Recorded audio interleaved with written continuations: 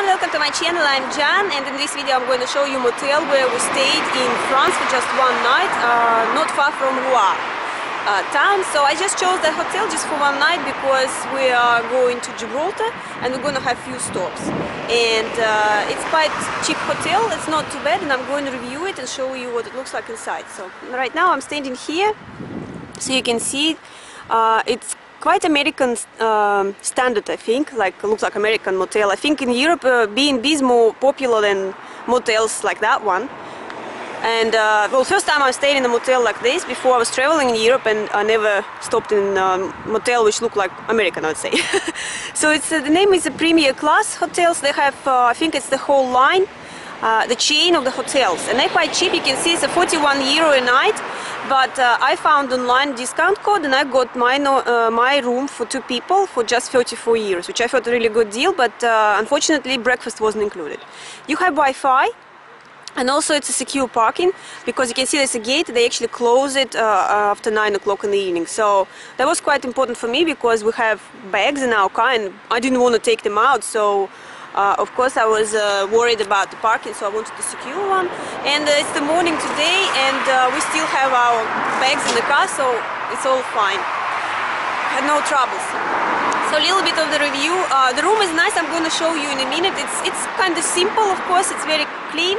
And uh, the only we didn't have any kettle inside. I thought we would have at least cup of tea, but no.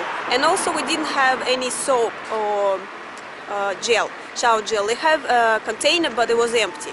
And unfortunately, uh, they have a, a well, kind of weird check-in. It's 24 hours check-in. You can do online, but if you want uh, to have uh, check-in at reception, you have to make it be, uh, from 5 p.m. till 9 p.m. I think. Well, anyway, until 9 p.m. is definitely. After that, they just leave the place. We came late night last night, about like 10 probably to 9, and we just made it and we had a good receptionist, the girl uh, was smiling and was also a guy. So the service was nice, but the only problem is the girl didn't speak any English and uh, uh, she was speaking French. But the boy was speaking English, so he could explain to us what we uh, can do, what we can't do. so, and it's the same this morning. We decided to maybe have a cup of coffee, and also the uh, girl at reception doesn't speak any English; she only speaks French. And also, there is no free coffee. I was hoping that there will be free coffee, at least or tea, like we had in Ibis. Uh, but no, they don't. You have to pay. It's also like one euro a cup, a cup of coffee. So uh, that's all. And um, so there is nothing else. It's it's not too noisy. You can hear there is a road behind me. Well, it's a weekend, and uh, you can hear the cars inside the room, but not much. The only you can hear because it's like a countryside.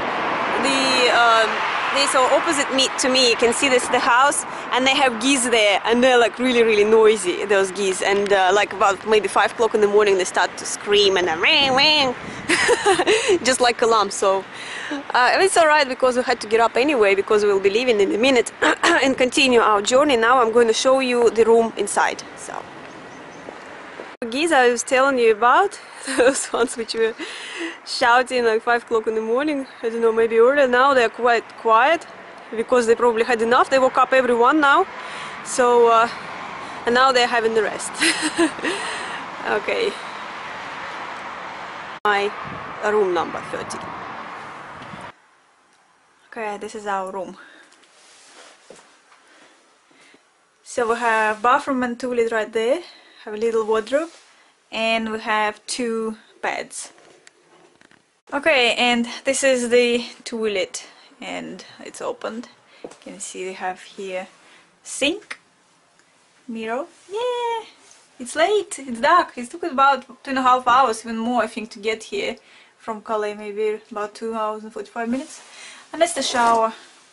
So that's kind of like okay really for the money I think uh, I paid about 37 euros for the night for two people